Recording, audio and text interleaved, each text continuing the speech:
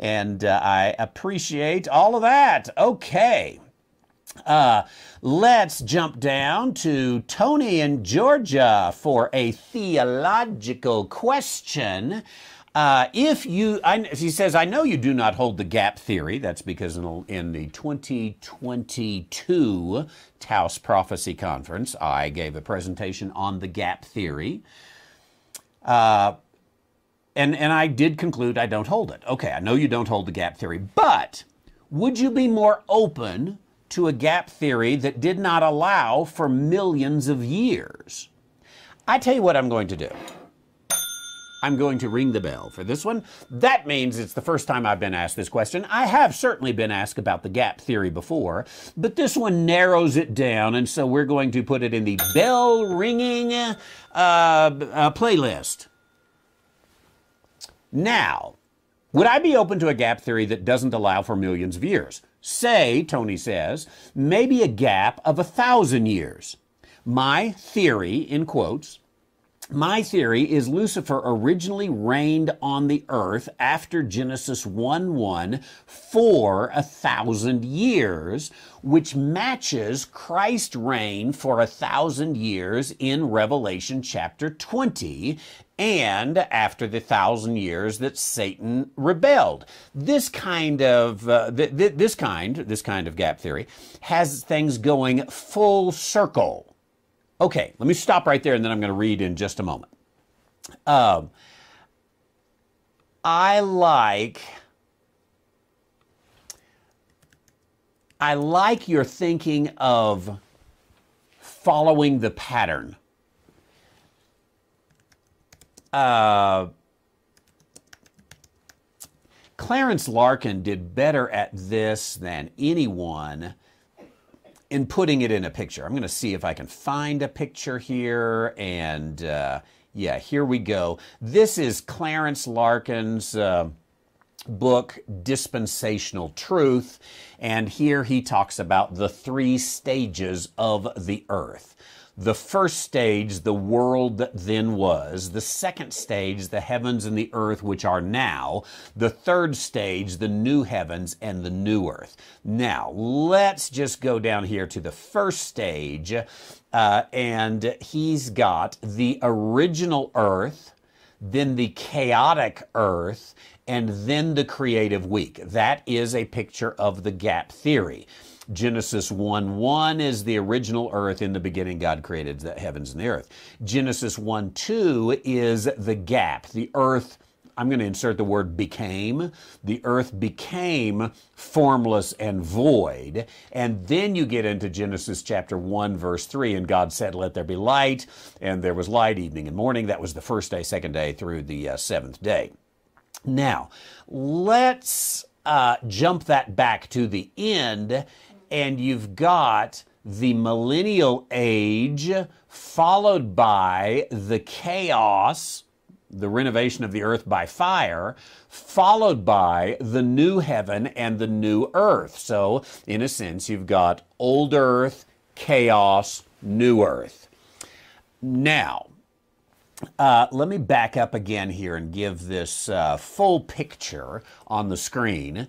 And you see the. Um, uh, what would the, what would the word be? Symmetry, where you've got this threefold pattern at the beginning, old or original, followed by chaos, followed by restoration, and then that repeats at the end, original, chaos, new. Now, I think that there is something to be said about looking for the for this symmetry. God is so much a God of symmetry that to ignore a possible symmetry is really just to say, I don't study God very much. I don't study theology very much. I don't study the scripture very much. E.W. Bullinger, who does hold to the gap theory, he does such a fantastic job at outlining the Bible. Now, we almost need a class on how to understand an E.W. Bullinger outline. They're they're in the companion Bible, and and and you know it takes it takes a class to figure out what's he mean by this outline. I don't get it. But he always picks up the symmetry within the passage and that symmetry as it relates to other things. And, it, and it's in there so many times literally page after page, book after book, chapter after chapter. Here is this symmetry.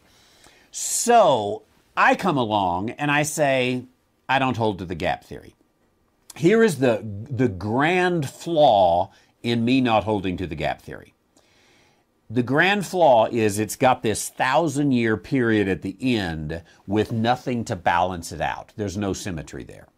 This is an oddity, it's an anomaly.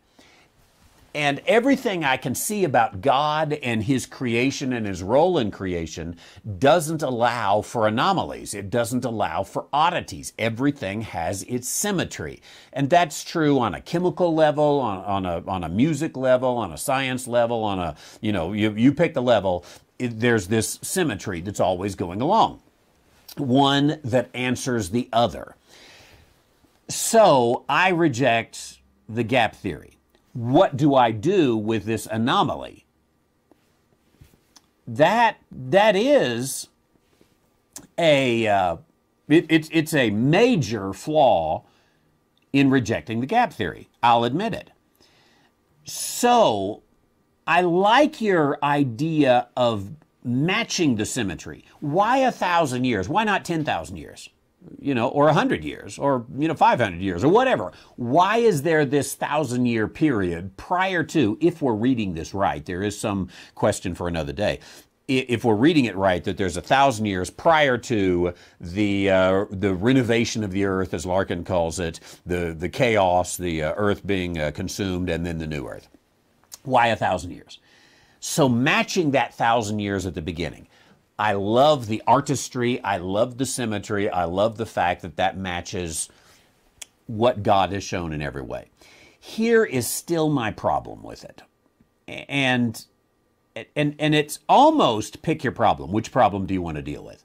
Do you want to deal with the fact that you don't have a symmetry, which is a real problem? But might I say, on an average audience, you can slip that in easier. They don't say, oh, wait a minute, Pastor, there's no symmetry there.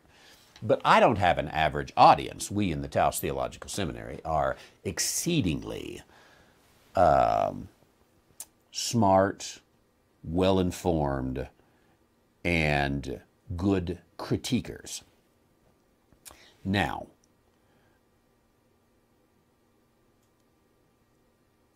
I don't have a symmetry. Here's your problem.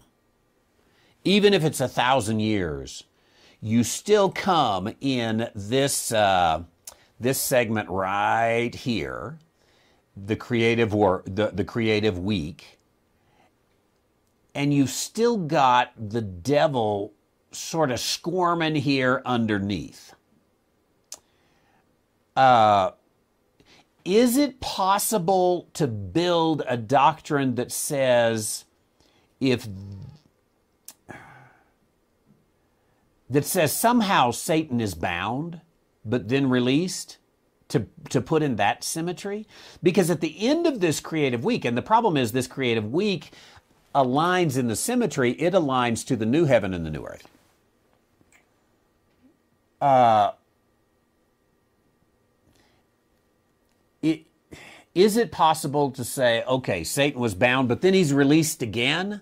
I don't know. I have a problem with Genesis. Is it 136? I may be wrong on that, but Genesis uh, about 136 at the end of the sixth day where God says, This is very good. Not so much as my problem that maybe in the gap theory, maybe there was a previous destruction. I think you could have a previous destruction and still come along and say, okay, this is very good.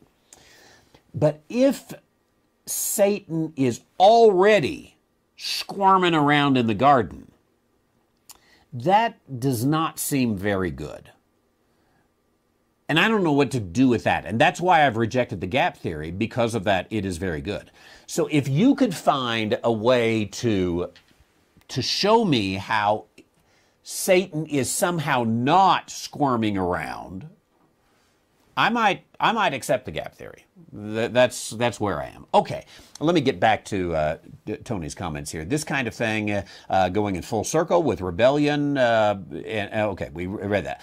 Here he goes. I will also throw out the possibility that God allowed the earth to remain flooded for a thousand years before doing the work that begins in Genesis 3, uh, 1 3. As a result, you have 2,000 years at Genesis 1 and 2, and then you have approximately 4,000 years from Adam to Christ, which makes 6,000 years.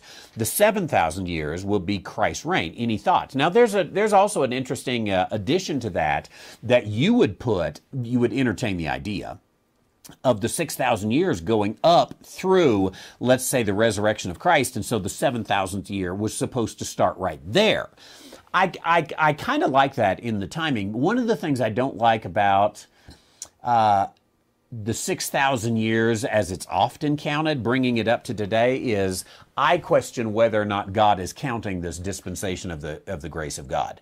That that might be a time when the clock was stopped. Now, in your situation, that overcomes that problem because the clock stopped, you know, say the resurrection of Christ, maybe the day of Pentecost or, or uh, the, the stoning of Stephen, the, the clock stopped. And all of this time has not started, and then it'll stop, uh, start again right in time for the 7,000 years. Uh, so if I were to hold the gap theory, I wouldn't have a problem with that. I would want to obviously support it a little bit if I was going to write a book about it or anything. But we're not necessarily writing a book about it. We're just uh, contemplating on it and uh, looking through here uh, and uh, carrying out. Uh, so yeah, looking at that, uh, the the um, uh, the the problem, you know, like Eric says, uh, the gap theory is a hard no. It puts death before sin, and that does appear to be a problem. The other problem is I don't have any symmetry over here. Which problem do you want to take? Is the uh,